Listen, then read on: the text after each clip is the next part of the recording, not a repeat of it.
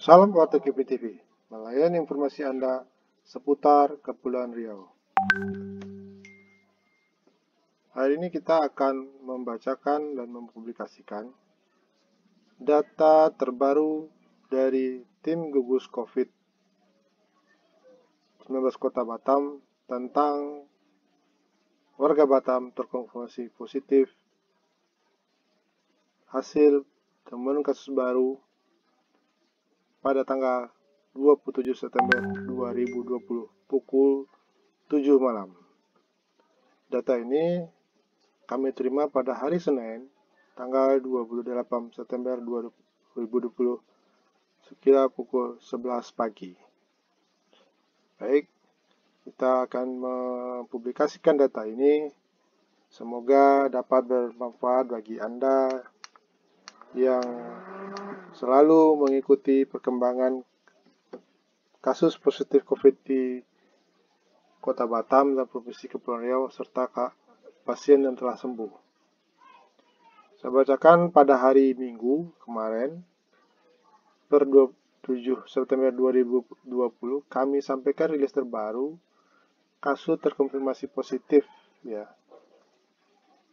dari hasil hasil da pemeriksaan swab tim analis laboratorium BTKLPP dan di analis laboratorium RSKI Rumah Sakit Khusus Infeksi COVID-19 Galang. Berdasarkan temuan ya kasus barunya adalah ada banyak 34 orang. Ulangi ada 34 orang terdiri dari 15 laki-laki, 19 perempuan warga Batam. Saya tidak tahu, belum cek data sampai bawah karena baru baru baru saya unduh. Nah, ini datanya. Kita lihat pasien 1115 eh 1515 maaf atasnya nama Nyonya N. Jenis kelamin perempuan usia 62 tahun pekerjaan ibu rumah tangga tinggal di kawasan komplek Wira Mustika Sungai Jodoh Lubu Baja. Terkalifikasi sebagai suspek mengalami keluhan demam sejak 14 hari batuk dan pilek disertai mual dan muntah. Dirawat di rumah sakit awal bos. Nah, itu data kita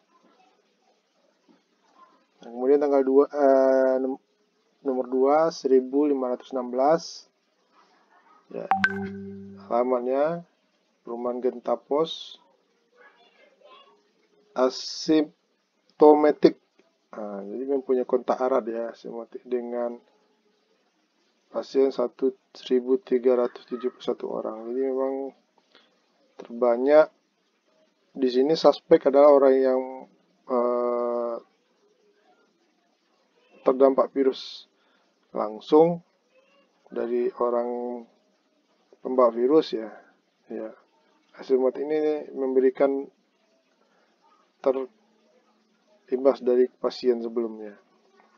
Ya, itu, itu bisa kita lihat ini masih warga di perumahan Genta, perumahan Bukit Kemuning, perumahan Puri Legenda, perumahan Taman Batu Haji, nomor 5 ya kemudian kawasan perumahan Cemara Asri. Terus ya masuk lagi ini uh, nomor 7 kawasan perumahan Mitra Raya. Ini Mitra Raya minggu lalu uh, hampir 21 orang kena 20 orang ya hampir ya. masuk lagi. Ini perumahan Geisha Residen di kota Batam Belian ini baru nampak Nah, sisanya ada beberapa lagi perumahan di kawasan Mangsang, Tanjung Kencang, perumahan domisori. Ya.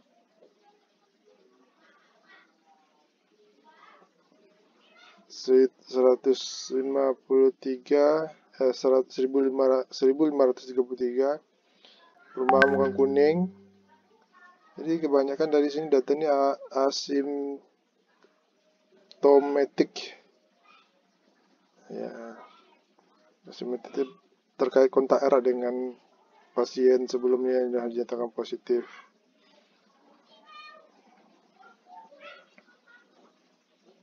Hmm, 27 kawasan perumahan Marina Tanjung Uncang.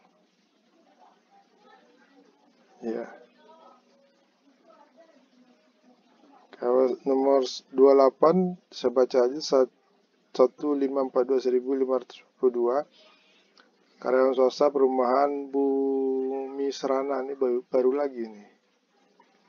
Jadi eh, semenjak munculnya kasus positif di kawasan industri, sepertinya seluruh wilayah Batam setiap perumahan sudah ada pasien positif yang di terpublikasi oleh tim COVID Kota Batam.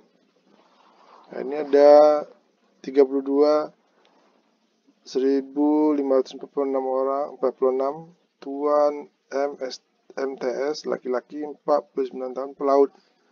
Kawasan PT Sungai Langkai Sungai Langkai Sagulung. Ini seorang pelaut. Yang terakhir nih di 34 perumahan Puri Agung lagi ya Puri Agung udah banyak di terpublikasi sebelumnya juga banyak. Ini termasuk daerah padat penduduk juga. Semoga saja di sana tidak menular lebih menular dan warganya disiplin tidak datang atau singgah ke kecamatan-kecamatan lain atau ya. Disimpulkan dari sementara bahwa saat ternyata bahwa saat ternyata ini ternyata terlihat kembali adanya kenaikan jumlah kasus baru sehubungan dengan penurunan tingkat kedisiplinan masyarakat dalam penerapan protokol di berbagai aktivitas setiap hari. Ya, ini bahasa baku yang apa? Rilis yang resmi ya. Setiap ada yang tambahan pasti ada kata-kata ini ya. Sampaikan gugus tugas COVID-19 Kota Batam, Ketua Bidang Kesehatan ditandatangani oleh Dr. Didik Kusurma Jadi SPOG. Itu yang untuk positif 34 pada hari Sab hari Senin Minggu kemarin. Yang baru terpublikasi pada hari Senin ini, Senin pagi, Senin siang. Nah, ini yang sembuh. Data yang sembuh sendiri uh, juga hasil data minggu juga 27 September 2020 per pada pukul 7 malam. Hmm. Di sini yang pasiennya ini berurut tidak berurutan ya. Nomor satu pasien 974 Nyonya Pipit Maria Sita Perumahan Citra Batam ASN Pemko Nyonya Alisa Leni Ruko Mansen Karang swasta PT Triplus BTC. Jadi memang udah sekarang kalau untuk sembuh dia dimunculkan nama-nama halaman ya. Pemirsa bisa dilihat saja apakah memang ada tetangganya. Sini ya Tuan Susiono, Sugiono ada juga. Jadi halaman kalau untuk pasien positif yang sembuh halaman sangat lengkap dipublikasi oleh tim COVID mungkin sebagai uh, PTBIC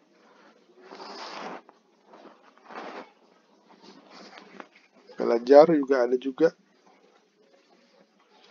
Ini status kok yang sembuh semuanya karyawan dan wira swasta. Tidak ada yang tidak kebanyakan tidak bekerja ya. Rata-rata semuanya bekerja karena Batam ada kota pekerja kawasan industri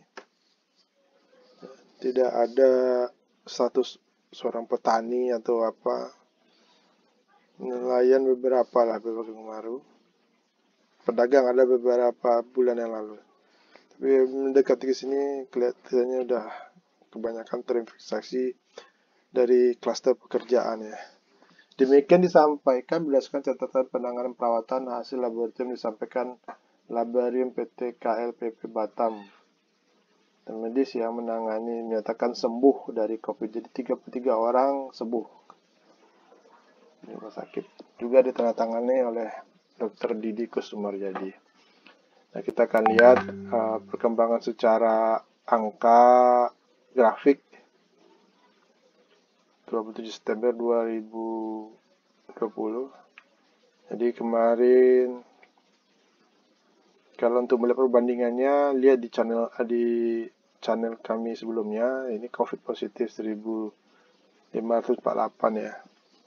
Sembuh 900, meninggal 47. Dirawat di rumah sakit ada 525 orang. Jadi di rumah sakit beserta dengan rus, rusun Di Batam sendiri kapasitas rumah sakit 400 untuk khusus untuk menangani COVID ini ya, tapi memang kalau berlebih pemerintah kota sebelumnya menyampaikan uh, para berikut karyawan apa pasien berikutnya dirawat di rusun di yang disiapkan oleh pihak BP Batam, tidak di hotel yang seperti di Jakarta atau di daerah lain. Ya ini 34 orang tambah hari ini. Kita belum akumulasi berapa positif yang terjadi secara akumulasi ke Provinsi Kepri ya. Yang hari ini biasanya dia mengupload pada harinya setiap hari jam 3 atau jam 4 sore. Kita akan tunggu saja, tapi kita akan baca dulu data yang untuk kota Batam ini. Ya. Ya, tidak ada perbandingan ya tidak ada perbandingan data-data juga sama deh kayak kemarin. Cuma memang satu wilayah ada perubahan untuk wilayah Bengkong udah kuning. Eh Batu Ampar udah kuning. Bengkong masih merah jambu. Dan wilayah kecamatan Nongsa semuanya kuning. Kuning artian ada satu pasien 1 sampai 10 orang per kecamatan. Dan kalau merah itu di atas 21 orang. Nah, yang hijau kayak di belakang Padang sekitarnya nah, udah hijau, jadi kasus nol. 500 pasien terbanyak yang posisi 500 itu di Kecamatan Batang Kota. Kalau melihat di saya gerak-gerakan ini.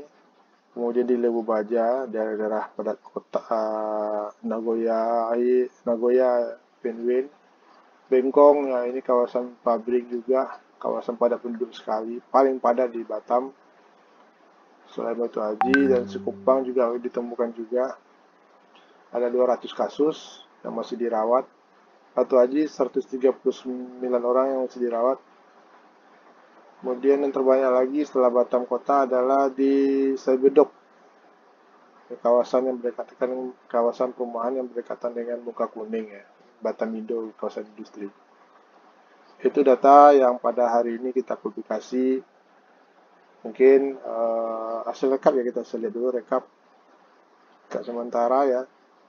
Per tanggal 27 September terkonfirmasi 34 di total 1548 jumlah suspek proba, probabel isolasi discarded ya Pak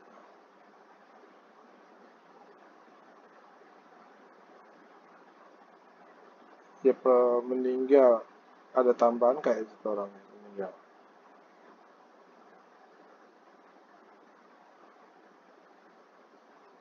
Jadi ini kumulatif. Sakit darurat kumulatif 0 hari ini kumulatif kasus baru satu. Ya kita harus memang saya tidak bisa menjelaskan secara rinci maksud dari tabel ini tapi dilihat saja angkanya Oke. Ya. Kita kembali. Ya, 33. Ya, 34 positif. Demikian pemirsa Warta Kopi TV. Semoga data ini bisa menjadi referensi bagi Anda yang mengikuti perkembangan positif Corona di Kota Batam khususnya dan di Provinsi Kepri pada umumnya.